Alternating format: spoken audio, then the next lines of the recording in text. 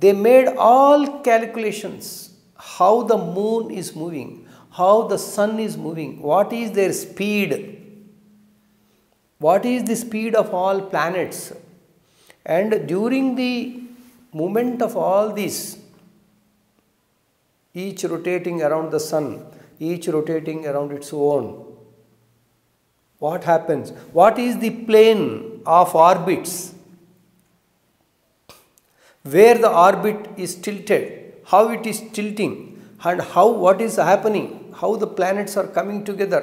From Earth, when we see, they, we look that they are coming together, but they don't come together. On one, one behind one will, will be there, but we feel that all are together. Like that visibility they have calculated. All the globes in this universe are rotating and revolving with some rhythm, mathematics. If there is no mathematics, earth will not be able to move like this at all. It, will, it has to fall somewhere or it has to go and um, um, meet uh, some other planet. It will dash.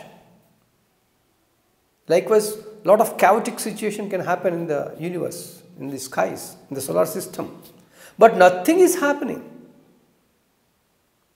Thousands of years, our uh, traditional calculators say the Srishti, the creation happened 195 crore, 85 lakh, 58,000 years ago. We are counting it. Every year Panchanga it will come, almanac.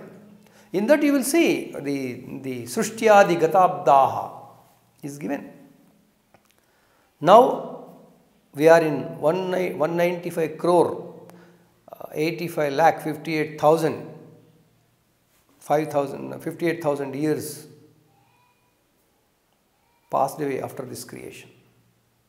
So these all calculations when man has started man has started ever since the man has become a man in the in the process of evolution it is not that 200 years ago or 300 years ago we are started knowing the knowledge of the mathematics thousands of years ago the mathematics knowledge is available to us to the humanity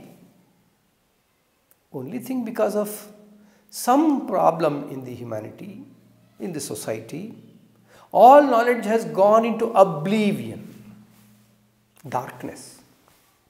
Again, that has started showing up only from 3 400 years ago onwards. So, it does not mean that our ancestors do not know about the life, about the calculations, about the happenings. In fact, they know better than what we. Our rishis have made the research and went to the peak of the knowledge. They acquired the maximum knowledge and that knowledge they kept in Vedas. Vedas are what? They are core knowledge. So, in Vedas, what is dealt with? Nature is dealt with. And why it is dealt with? It is dealt with because our rishis wanted us to have comfort. Our rishis wanted to have, with that knowledge, we should have comforts. And that comfort can come only when we properly use the knowledge given by our rishis. And the Vedas refer to the globes, the nature, the effect of globes. They say, if you do this yajna, you will be able to get rain. So the rain is God. Treat them, that is what they said. You treat that rain is God. Give the inputs to the rain so that rain will fall, rain will come, rain will be there. How you can do? You use all your inputs in the nature only. They found so many ways and means to influence the nature to be comfortable to them, to give comforts to us.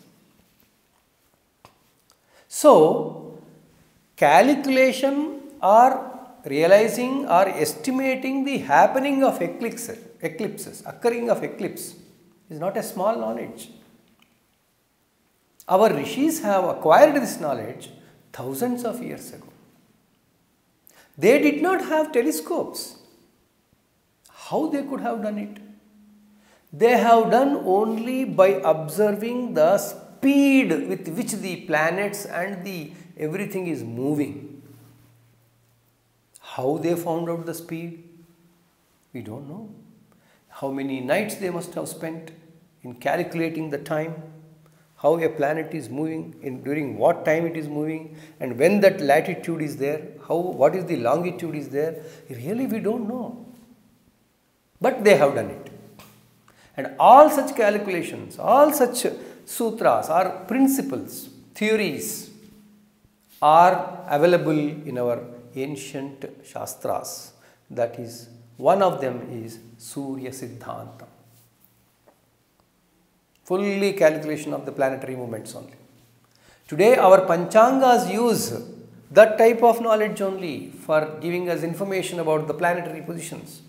Today, NASA like institutions are trying to make out the type of information by investing crores of money, crores of dollars, crores of rupees and using so many instruments, a lot of uh, you, your, uh, they will send the space shuttles, they will make them to use, they will ask them to, they will get them information from them, they will make a lot of calculations and all these things. Whereas our rishis have not gone anywhere, they have not used any instruments, but still they have got the information, and that is the amazing thing of our rishis. That is what the world appreciates.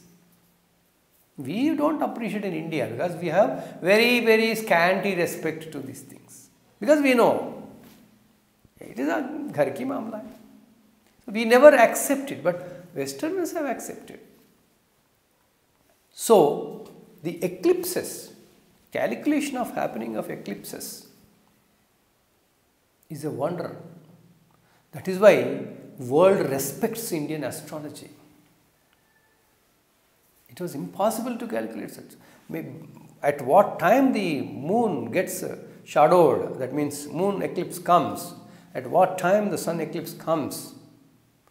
After today's uh, modern uh, knowledge and instruments, gave us a lot of new theories, but all are dependent on, based on the theories given by our rishis only in our traditional thing. Rishis means not only Indian rishis, rishis elsewhere also. Varaha Mihira mentions about Yavanas. Yavanas means Western people only. He says they also have the astronomy, astrology knowledge. They are also using very well. In fact, a lot of updation is happened only in West, not in India. Indian astrology is not updated astrology. Updated astrology is there only in West now. So we need to update our knowledge, not simply following for the sake of predictions and see whether I will get money, whether I will get married, all these things. No. So today we will talk about uh, a little on this eclipses. Eclipse happening, its calculation in advance and it's happening at the same time. Really wonderful.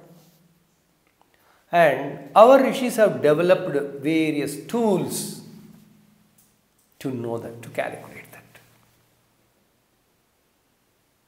For that, you should understand and appreciate one thing that our rishis have first found out the position of the globes around us, which are important for such events happenings.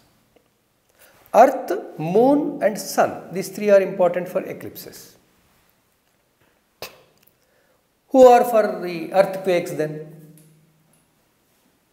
Our rishis found out. For earthquakes, why earthquake comes? It is not that your physics and geography, geology says those things. They are all peripheral.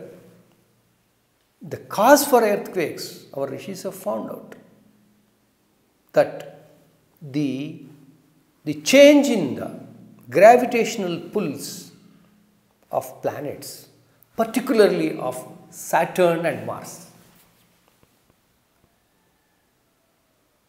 So, simply in Jyotisham what they said, when the Saturn and Kuja, Mangala, Angaraka, when they are in a particular places in the chart, in the zodiac, uh, in that particular area, the earthquake can come. That way they have predicted. And this was being done thousands of years ago onwards.